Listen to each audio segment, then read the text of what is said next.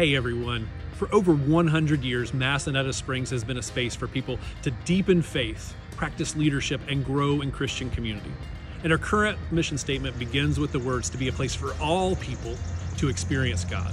We've made big strides in our second century of ministry towards that mission in the way that we run our programs, recruit leadership in our guest group and hospitality ministry, and in partnerships that we formed in our local community.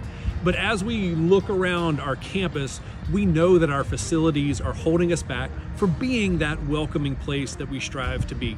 After all, how can we be welcoming to all when our largest lodging facility has no ADA accessible rooms?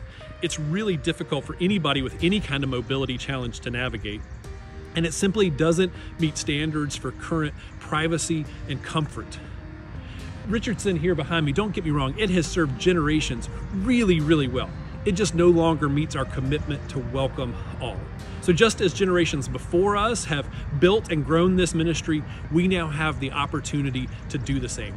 That's why I am so excited to tell you about the Building a Place for All campaign. We plan to retire about two thirds of the Richardson complex and replace it with a hotel style building that includes those ADA rooms, some extended stay suites. Guests are going to love staying here.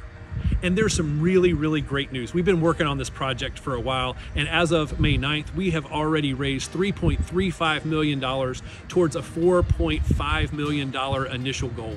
We are almost 75% of the way there with gifts from individuals, congregations, presbyteries, the Synod of the Mid Atlantic, and others. So, with that finish line in sight, we want to fling the doors wide open and invite everybody who has experienced the power of Massanetta Springs Ministry to make a meaningful gift.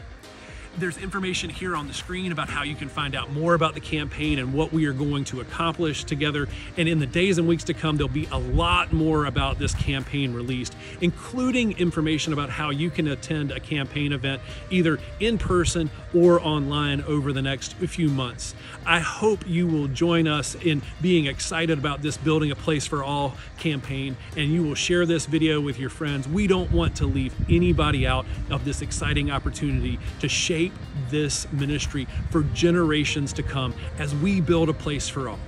Thank you so much for watching.